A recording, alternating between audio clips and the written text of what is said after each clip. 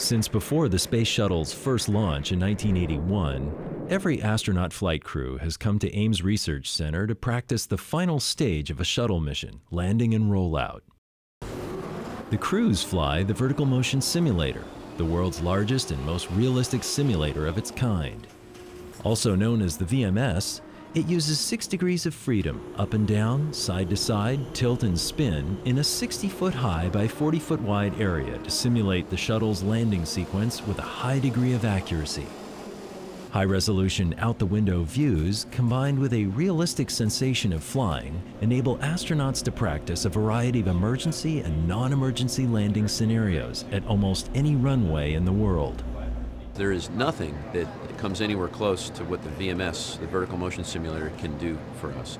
It gives us the sense of dynamics, the accelerations, uh, the various motions that you get, the wallowing that the shuttle does as soon as it lands on the runway, uh, the derotation when the nose gear hits the ground, you feel the, the thwack, the thump when the nose gear, uh, the tracking, the center line uh, maintenance uh, task that we have to do. What you rely on is rote memorization and re repetition, and coming out here every year and doing the VMS is the one tool that, that gives us that.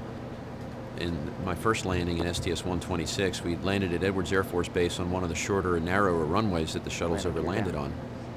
We touched down, um, just about on condition. We did our derotation, and one of my habit was as soon as the nose gear touches the ground, I look to the left or right and I look for a runway remaining marker. That's the amount of runway that's left in, until the end of, there is no more runway. And typically we see in the space shuttle about eight to 9,000 feet. On my actual landing, we were at 5,000 feet remaining. And that is very unusual. So at that exact moment in time, I was back in the VMS and I knew what I had to do in order to get the sh shuttle stopped in, the remaining runway, and it was just, it was an instantaneous flashback, and that's exactly what you want in, in a good training tool, something that for that moment in time when you have to react, you can't think, you can relay right back to some training that you had and actually put yourself in that position right then and there, and it felt exactly like being in the VMS for the remainder of that you know, landing rollout. Copy, wheel stop Endeavour. Welcome back. That was a great way to finish a fantastic flight, Fergie.